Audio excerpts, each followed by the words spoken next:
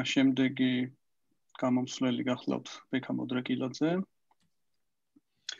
აა ბექა 2013 წელს დაასრულა ვეკუას ფიზიკა-მათემატიკური სკოლა, შემდეგ თბილისის სახელმწიფო უნივერსიტეტში მოიპოვა ფიზიკის ბაკალავრის წოდება და 2017 წლიდან გახლავთ კარნეგი მელონის უნივერსიტეტის დოქტორანტი.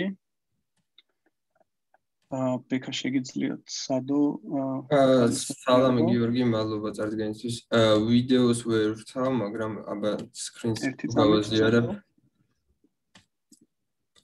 აი სკრინი გაზიარდა მგონი პრინციპში. მე მგონი ვიდეოს ჩართვაც უნდა მოახერხო. აი კი კი მოახერხე მადლობა. კარგი მოდი დავიწყოთ მალევე მაშინ. აა მოგესალმებით მომდენო 15-20 წუთის განმავლობაში თქვენ გაიგებთ რისგან შედგება დროს სივრცე და ნუ გეცოდინებათ ყველაფერი. და რა ყველაფრის თეორიაზე ვილაპარაკებთ. ყველაფერს კიდე აღწერთ მეცნიერებით, ან მეცნიერებს მაინც გვაქვს ამაზე პრეტენზია, მაგრამ ჩვენ ცხოვრობთ უშუალოდ ისეთ სამყაროში, რომელსაც აქვს კერძო თვისება, რომ ეფექტური ველის თეორიები ძალიან ეფექტურები არის. კერძოდ კი ჩვენ შეგვიძლია ვაკეთოთ ბიოლოგია ისე, რომ ქიმიაზე ბევრი არ ვიცოდეთ. შეგვიძლია ვთქვათ, რომ მოლეკულები გვაქვს, და მოლეკულები არიან ელემენტარული ნაწილაკები და იქიდან ავიღოთ თეორია. და ეს თეორია იქნება მუშა და მოგცემს ზანათ სწორ შედეგებს ბევრ რამეში თვითონში და ბიოლოგიის ფრეიმვორკში. იგივე იქნება ქიმიაზე, მაგრამ უბრალოდ რომ დავაზუმოთ, ჩვენ დავინახავთ, რომ ეს ნარინჯისფერი ბურთი კი არა, სენდვიჩი თითელი და ყვითელი პატარა ბურთები. მაგრამ რაღაცა ამ ქვედაფენიდან ჩვენ შეგვიძლია ზემოთავიდეთ, უბრალოდ თქვათ, რომ ის ერთი ფერის ბურთი არის და მუშა თეორია გქონდეს. ამ თვისების გამო ჩვენ შეგვიძლია საერთოდ მეცნიერების შექმნა ისე რომ ყველაფრის თეორია არ გწოდნოდა. ეს ესე რომ არ ყოფილიყო სამყაროში, საერთოდ არანაირი მეცნიერების შექმნის შანსი არ გვექნებოდა და იმ კითხვასაც კი ვერ დავსვავდით შესაბამისად თუ რა არის ყველაფრის თეორია. ამდენ გაგვიმართლა და მიუყვეთ ახლა. აა ფიზიკაში კიდე ერთ-ერთი ფუნდამენტური არის დროს სივრცე და დროს სივრცეზეც გვაქვს ისეთი კითხვა არის ფუნდამენტური თუ შედგება სხვა რაღაცებისგან და არის ქვედა ფენის სტრუქტურები და ის ქვედა ფენაზე შეიძლება ვიძებოთ პლანკის სკალაზე ანუ უფრო ქვემოთ ის ყველაფრის თეორია. სანამ უშუალოდ თეორიებზე მიყვებით, ინტუიციურად რო წარმოვიდგინოთ, ჩვენ თუ ვიფიქრებთ სივრცეზე, შეგვიძლია ესეთ კითხვა დავსვათ, რა იქნება თუ სულ დავაზუმებთ და დავაზუმებთ რაღაც მომენტის მერე დაგხვდება ჩვენ პიქსელები, იქნება ჩვენი სივრცე დრო დისკრეტული თუ იქნება უწყვეტი. და დიდად ამ კითხვის დასმას აზრი არ აქვს. იმიტომ რომ ვერც ეს ცნებები მუშაობს მარტო ჩვენ სკალაზე, ჩვენთვის გასაგები არის, იმიტომ რომ მაგრამ ჩვენი ინტუიცია შეიქმნა კონკრეტულად ისეთ სკალაზე, სადაც ბიოლოგია მუშაობდა და იმ სკალაზე დიდათაც აზრიანს არაფერს მოგცემს, იმიტომ რომ რო დაუშვათ რომ არის დაუშვათ დისკრეტული, უნდა წარმოვიდგინოთ რომ არსებობს რაღაცა, რასაც ორად ან ვეღარ გავყოფთ და მასეთი არაფრის წარმოქმნა არ შეგვიძლია. და უწყვეტიც რო იყოს, უნდა წარმოვიდგინოთ, რომ უსასრულოდ შეგვიძლია გავყოთ, გავყოთ, გავყოთ და ეგეც უსასრულოდ არაფერს კეთება წესს არ უნდა შეგვიძლოს. მაგრამ პარადოქსებს ვიღებთ მაშინ, როცა ჩვენ ინტუიციას ზედმეტად ვენდობთ. ჩვენ ინტუიციაზე რო შევამციროთ ნდობა, მაგისთვის ზოგჯერ უნდა წავყვეთ მათემატიკას, მივიღოთ შედეგები და მერე ვიფიქროთ უკვე ახალდასკვნებზე. მათემატიკურად კი დროსირთვის ერთ-ერთი ყველაზე წარმატებული თეორია იყო ფარდობითობის თეორია. ფარდობითობის თეორია კი რეალურად ძალიან მარტივ პრინციპს ეფუძნებოდა, რაც ბევრ შეეძლო იქამდე ჩემჩნია, მაგრამ მხოლოდ აინშტაინს შეაწუხა იმან, რომ უბრალოდ რომ დავწეროთ ნიუტონის კანონი, მარცხენა და მარჯვენა მხარეს მასები იკვეცება. მაგრამ ეს მასები არის საერთოდ განსხვავებული რაღაც და არანაირი წინაპირობა არ არსებობდა, რომ ეს მასები შეკვეცილიყო, იმიტომ რომ მარცხენა მხარეს რაც მასა გვაქვს, ეგ არის პარამეტრი, რომელიც აღწერს თუ გარე ურთიერთქმედების მიმართ როგორ აჩქარდება. და მარჯვენა მხარეს მას არის გრავიტაციული მუხტი, რომელიც სულ სხვა რამეს აკეთებს, გვეუბნება თვითონ ეს ობიექტი როგორ შექმნის გრავიტაციულ ველს. მაგრამ ესენი იკვეცებოდა და ნუ ამას დაერქვა ინერციულობის პრინციპი და ამის შედეგი არის ის, რომ მასისგან დამოუკიდებლად გრავიტაციულ ველში თუ მოვათავსეთ ობიექტები, ყველა აჩქარდება ერთნაირად. ხა, რა გამომდინარეობები აქვს ამას? აქვს ესეთი, რომ რაც დიდ მასასთან მოაქციოთ პატარა, წავა რაღაც აჩქარებით, გაყვება რაღაც დროს იცის წირს, მაგრამ ჩვენ თუ დაშვეთ ყვითელი ბურთი, მაგრამ დავდებთ ცოტა მოზდი წითელ ბურთს, ზუსტად ისევე წავა. და აქ შეგვიძლია დავსვათ კითხვა, რომ თუ ყვითელი და ციცელი ზუსტად ერთნაირად წავა, რატომ უნდა შევიწუხოთ თავი და სათითაოდ ყველა ბურთისთვის გავაკეთოთ ეგ?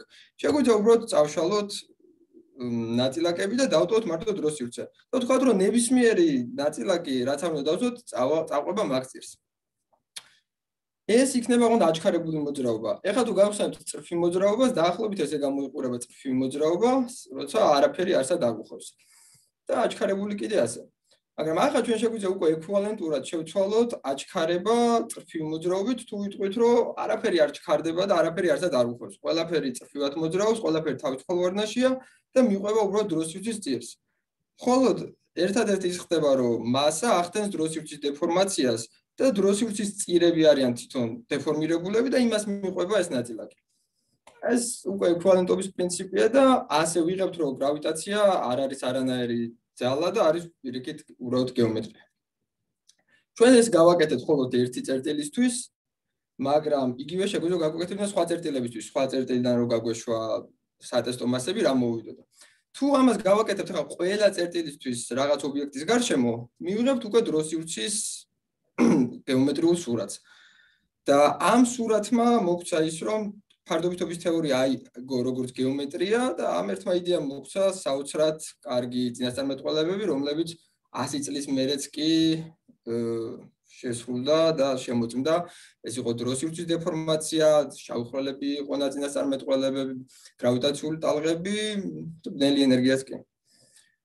და ამ მომენტში თითქოს ჰარმონია უნდა ყოფილიყო და ძალიანაც კმაყოფილები ყოფილიყავით ჩვენ შედეგით, მაგრამ შემდეგ მოვიდა კვანტური მექანიკა.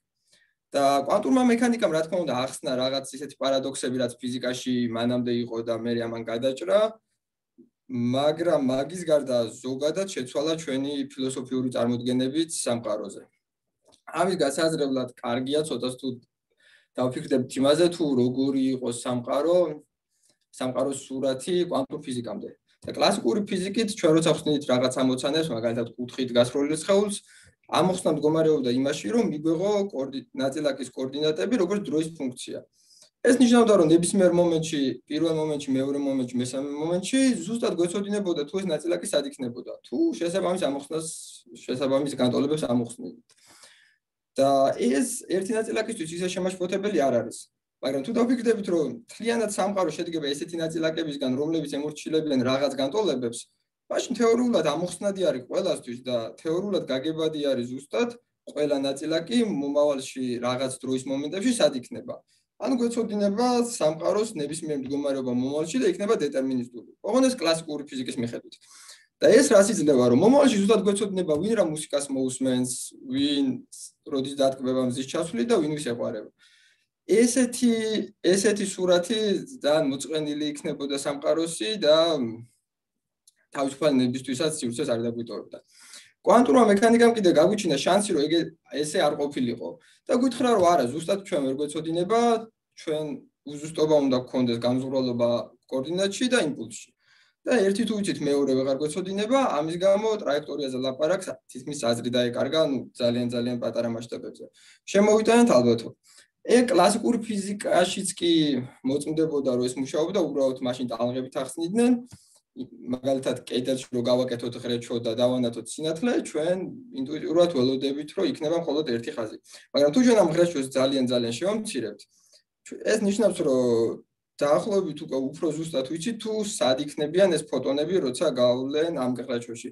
და მაგის გამო ჩვენ უკვე აღარ უნდა ვიცოდეთ მათი იმპულსი. აღარ უგვეცოდნება და მაგიტო ზოგი მარჯვნივ, ზოგი მარცხნივ და გვექნება გაშლა. ამაგის გამო როცა ღირაჩოს ვამცირებთ ერთი ზოლის მაგივრად ვიღებთ ბევრ ზოლს ამ ინტერფერენციულ სურათს. და ამან მოგცა კვანტური მექანიკის ალბათური სურათი. ყველაზე ცნობილი მაგალითი ალბათ არის შრედინგერის კატის მაგალითი, მაგრამ გაცუდი მაგალითი ჩემი აზრით, იმიტომ რომ ხშირად ხალხი იბნება არასწორი ფორმულირება ხდება იმ ხრივ, რომ შრედინგერის კატა არ ვიცი ცოცხალია თუ მკვდარი, თანაბარი ალბათობით არის ცოცხალი მკვდარი, ამ გავხსნით ყუთს. ხა ვიღაცამ რატომღაც რომ გამომიგზავნოს ცალი წინ და მეც არ მეწოდინება იმ ყუთის გახსნამდე ის წინ და მარცხენა თუ მარჯვენა, მაგრამ მან კვანტური არაფერი არაფერი არის. კვანტურობა შემოდის იმაში, რომ თავად კატამაც არის ის ცოცხალია თუ მკვდარი, სანამ ყუთს გავხსნით. და მაგით არის შედარებით ცუდი მაგალითი, იმიტომ რომ კატა მაკროსკოპული სხეულია და იქ კვანტურობა დათრგუნულია და კატამ წესით უნდა იცოდეს ცოცხალიათ მკვდარი. მაგის გამო კატამზე რო არ ვილაპარაკოთ და ერთეულ ნაწილაკებზე ვილაპარაკოთ, შეგვიძლია დავინახოთ, რომ თავი ნაწილაკებმაც არიციან თუ რათვისების არიან ზუსტად. აა წარმოვიდგინოთ, რომ გვაქვს რაღაც ნაწილაკები, დავუშვათ ელექტრონები, რომლებსაც აქვთ ორი ფერი და ორი ფორმა. და გვაქვს ესეთი ფილტრები. მაგალითად, ფერის ფილტრი, რომელიც თუ თანაბარ განაწილებული იქნება თეთრები და შავები, ზემოთ გაუშვებს ყველა შავს და ქვემოთ გაუშვებს ყველა თეთრს. 100% იქნება აქ შავი და 100% ქვემოთ თეთრი. იგივენაირად შეგვეძლება გქონდეს ფორმის აპარატი, რომელიც გაფილტრავს მრგვალებს და კვადრატულებს. ოღონდ ჰაიზენბერგის განზრუნვალობა გვეტყვის, რომ ფერი და ფორმის ერთდროულად ცოდნა არ შეგვიძლია. როგორც ჩვენ არ შეგვეძლო კოორდინატის და იმპულსის ცოდნა. და ჩვენ თუ ესე ავაწყობთ ახლა ექსპერიმენტს, რომ ფერის აპარატს მოვათავსებთ ფორმის აპარატის შემდეგ, იმ შემდეგ რაც ფორმა ფორმის აპარატი გაფილტრავს და ზემოთ გვექნება ყველა კვადრატულები, აქ ჩვენ კი გვექნება ყველა თეთრი, დავალოდებით რომ საბოლოოდ 100% ჩვენი ელექტრონების იქნება კვადრატული და თეთრი. მაგრამ კვანტური ფიზიკის კვანტურობა ზუსტად მდგომარეობს იმაში, რომ ეს არ იქნება სწორი. ეს ჩვენ მართალია გვექნება თეთრები, მაგრამ გვექნება თანაბრად განაწილებული, გვექნება თანაბრად განაწილებული კვადრატულები და მრგვალები. და ერთი შეხედვით ეს გაუგებარი არის, იმიტომ რომ ფორმის აპარატმა ხო უკვე გაფილტრაო ვიღაც სიტყვის, რომ ყველა ვნახეთ, რომ ყველა კვადრატული იყო ზემოთ და ყველა მრგვალი ქვემოთ. საიდანღა გაჩნდა მრგვალი ელექტრონები მანდ. და საქმე იმაში არის რომ ელექტრონები არც თეთრი არის არც შავი ისინი ერთდროულად ორი რაღაც არიან უბრალოდ განსხვავებული ალბათობებით ამ იდეის კიდე უფრო გაფართოება შეგვიძლია იმით რომ თუ რაღაც ალბათობით ჩვენ პარამეტრი გვაქვს რომ რაღაც ალბათობით თეთრი და შავი არის იგივენად შეგვიძლია ვთქვათ რომ რაღაც მოვლენებიც ხდება რაღაც ალბათობით. და ნუ ოთო ძალიან კარგად ახსნა და მაგ მაგის ხარჯზე დროს მოვიგებ ახლა. ფეიმანის დიაგრამებზე აღარ დავიწყებ ბევრ ლაპარაკს. ფეიმანის დიაგრამების იდეაც არის ეგ რომ სამყაროში რაც კი არ არის აკრძალული ფიზიკის კანონებით ყველაფერი ხდება. უბრალოდ ხდება განსხვავებული ალბათობებით და ესენი არ შეესაბამება ერთ პროცესს ეხა ესეთი იდეა ვიღაცას რომ ჩემთვის ძალიან ადრე თქვა ნამდვილად გამჭირდებოდა ამის დაჯერება ამიტომ საჭირო არის აღნიშნოთ თუ რა სიზუსტით არის ეს თეორია შემოწმებული და ექსპერიმენტთან შედარებული. და სიზუსტი არის ესეთი. ამ რიცხვს ახლა პირველად ვინც ხედავს, იფიქრებს, რომ რაღაცას ვიტყუები და მართალიც იქნება ვიტყუები, იმიტომ რომ ამ თეორიის სიზუსტე 0.00002% არა, გაცილებით, გაცილებით, გაცილებით უფრო ზუსტი არის ეს თეორია და ნამდვილი სიზუსტე ამ თეორიას აქვს ესეთი. შესაბამისად, ეს არის კაცობრიობის ისტორიაში ყველაზე ზუსტი თეორია კვანტური ველის თეორია. საბოლოოდ გვაქვს სურათი, სადაც ფარდობითობის თეორია ხსნის ძალიან კარგად ყველაფერს დიდ მასშტაბებზე და კვანტური მექანიკაც ძალიან პატარაზე, მაგრამ სამყარო ვიცით რომ ერთი არის. შესაბამისად, ჩვენ არ შეგვიძლია ვთქვათ, რომ გრავიტაცია ცალკე არის, ანუ გრავიტაცია არის სამყაროს ნაწილი და სამყარო არის კვანტური საბოლოოდ. შესაბამისად, ჩვენ გვჭირდება კვანტური გრავიტაცია და ამათი გაერთიანება. ამათი გაერთიანება კიდე გჯერა რომ მოგცემს ყველაფრის თეორიას და ყველაფრის თეორია იყოს შეიძლება ის ქვედა ფენის თეორია, რომლის ეფექტური თეორიები იქნება კვანტური მექანიკა თუ ფარდობითობის თეორია. მაგრამ აქ იწყება პრობლემები. ჩვენ თუ გავხსენებთ როგორ ავაგეთ გრავიტაცია, ეს იყო გეომეტრიის თეორია. გეომეტრიაში კიდე ძალიან ძალიან ფუნდამენტური არის მანძილი. ორ წერტილს შორის მანძილი თუ იწყებთ გეომეტრიის აგებას და შემდეგ ვიღებთ ყველაფერს. მაგრამ ჩვენ თუ დავფიქსირებთ ორ წერტილს შორის მანძილს და შემდეგ დავუმატებთ კვანტურ მექანიკას ეს ყველაფერი დაგვეშლება და დაგვენგრევა. იმიტომ რომ კვანტური მექანიკა ზუსტად მაგას გვეუბნება, რომ ზუსტად მანძილი ვერ გვეწოდინება. სხვანაირად რომ თქვათ ეს კვანტური მექანიკის დამატებით ფარდობითობის თეორია უბრალოდ დაიშლება და ერთად ამათ თანაცხოვრება ვერ გამოუვათ. ამის გამო ეს ნიშნავს, რომ წინ გვაქვს ძალიან საინტერესო და გრძელი გზა თუ როგორ ვიპოვოთ ყველაფრის თეორია საჭირო არის ალბათ ახალი მეთოდების მოძებნა თუ რა ძაფებით უნდა მოიქცოვოს ის ვაზა რომელიც აღარ დაიშლება კვანტური მექანიკის დამატებასთან ერთად. და ეს ძაფები შეიძლება იყოს ძაფების თეორია ან სიმების თეორია. სიმების თეორია თავის მხრივ ასწორებს იმ არასწორ დაშვებას რაც გზაში დაუშვით კერძოდ კი ჩვენ განვიხილავდით ურთიერთქმედებებს წერტილებს შორის და წერტილოვანი მიახლოება რაღაც დონემდე კარგი იყო, მაგრამ ვიცოდით, რომ რაღაც მომენტამდე იმუშავებდა და რაღაც მერე გვექნებოდა სიმართლისთვის თვალი გასასწორებელი, რომ ნაწილაკების სამდროში არც ბურთები არიან და არც სწავლებით. აა სიმების თეორიის იდეა სუსუ პირველი ზუსტად ეგ არის, რომ წერტილი ნულოვანი განზომილების რო არის, იმი არის ერთი განზომილების ობიექტი, შეიძლება იყოს შეკრული, შეიძლება იყოს ღია და სიმების თეორია გვაქვს მეტი უბრალოდ სიმების თეორია ცხოვრობს 11 განზომილებაში და ჩვენ 4 განზომილებიან სამყაროში ჯერჯერობით ვერ მოვიფიქრეთ როგორ შევას შევმოწმოთ ის. საბოლოოდ კი თუ დაუბრუნდებით ჩვენ პირველ კითხვას, თუ რისგან შედგება სამყარო, იყო თუ არის თუ არა სივრცე პიქსელებით, არის დისკრეტული თუ არა, მაგ კითხვის საპასუხოდ შეგვიძლია გავხსენოთ ეხლა გავლილი გზა, როცა აღმოჩინეთ, რომ ელექტრონები არც თეთრი იყო და არც შავი და იყო რაღაც სხვა და უბრალოდ რამდენიმე გამოვლინება იყო. მასევე დიდი ალბათობით სივრცეც არც დისკრეტული იქნება და არც უწყვეტი და იქნება რაღაც სხვა. ესეთი პარადოქსები ძალიან ხშირად მიიღება იმის გამო ხოლმე, რომ ცდილობთ ჩვენთვის ნაცნობი ცნებებით ახსნათ ჩვენთვის უცნობი. აი სპინის პირველად რო აღმოჩინეს, პირდაპირ ნიშნობით ეგონათ რომ ელექტრონი ტრიალებდა. და ყველაზე ჩქარად პროგრესი შეიძლება იყოს იმით, რომ თუ გვექნება შეიძლება ცოტა დაშვება და აპრიორი გვექნება ნაკლები პოსტულატი და ამოვაც ძირითადი ძირითადი პრინციპებიდან და დავსვათ კითხავს ყველაფერზე. მაგ შემთხვევაში იმედი მაქვს რომ ერთ დღეს შეიძლება ჩვენ ვიცოდეთ თუ რაზე არის ეს სრული ისტორია სახელად სამყარო.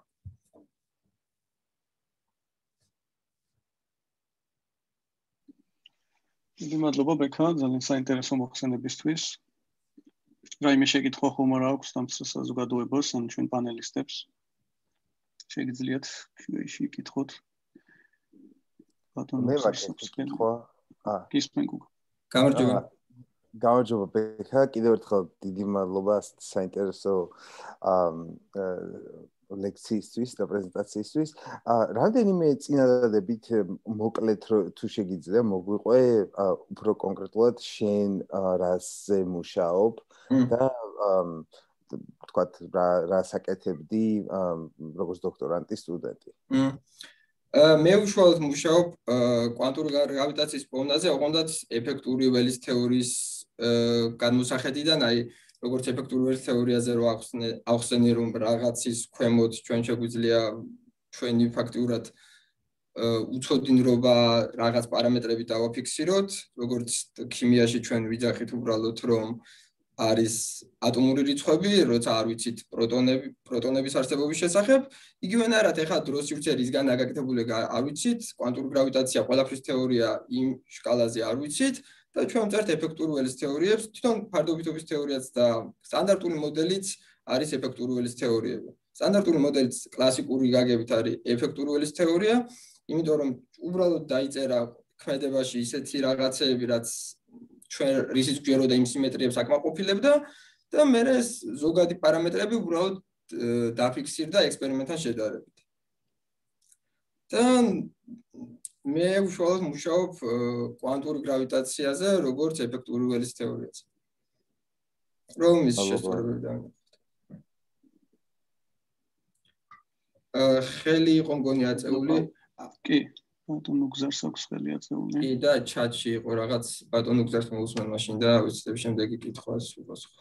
როგორც გიამ აგიხსნა მოდელების საშუალებით წარმოგვიდგენია ჩვენ რეალობა და ამიტომ აი თქვენ თემაშიდაც შეგვიძლია რამდენიმე ნაბიჯი წარმოვიდგინოთ ესე იგი ველის თეორია როგორც სტანდარტული მოდელის საფუძველი ეგ კარგად მიმოვიხილეთ. შემდეგი ნაბიჯი ველის თეორია ემყარება დროს სივრცეს, ხო? ველის კვანტური თეორია სტანდარტული მოდელი ეს მინკოვსკის სივრცეს ოთხგანზომილებიანს. თუ ვეცდებით, რომ დავამატოთ რიმანის სივრცე და ესე იგი ზოგადი თეორია ფარდობითობისა, მაშინ გამრუდებული უწყვეტი მრავალსახეობაც უნდა განვიხილოთ როგორც მოდელი დროს სივრცისა. აი აქედან უკვე პერსპექტიული ნაბიჯები წარმოვიდგინოთ, ესე იგი. აა სიმის თეორიაში აა ეს მოდელი გრავიტაციისა თავისი ატრიბუტებით წარმოგვიდგება როგორც ცალკეული კომპონენტა. როგორც ერთგვარი სპინორი აღზნება სიმისა, ხო? ამიტომ ეს მართლაც ნაბიჯია. ამ თვალსაზრისით სიმის თეორიის პოზიციიდან გრავიტაცია ზოგადი თეორია და თუ გნებავთ კვანტური ეფექტური თეორიაც არის სიმის თეორიის დაბალი ენერგიების ეფექტი, ასე ვთქვით, ხო? ესე იგი სიმის თეორია იგულისხმება მიკროსკოპიულად ამ დონეზე და კვანტური გრავიტაცია და ესა დიახ ერთ-ერთი ერთ-ერთი კანდიდატი არის სიმების თეორია. შეიძლება იყოს რამე სხვა და იმის ეფექტურ თეორიებს ხედავდეთ დღეს.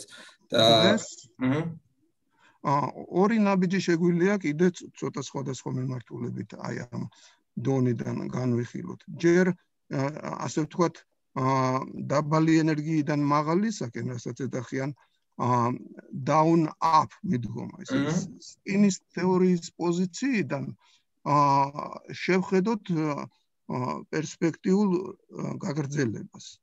და მეორე ვარიანტსაც შევეხებით რო თუ მექნება აი სპინის თეორია რა აქვს თავისი შეზღუდულობა რანაირად. ეს სპინების გას თუ განვიხილავთ აი გია მოკვეთქვა რომ იქ სიმკვრივ მდგომარეობის სიმკვრივე ექსპონენციალურად იზრდება, ესე იგი, მოცემული ენერგიისათვის ექსპონენციალურად დიდი რიცხვი არის, რომელიც ენტროპიას განსაზღვრავს.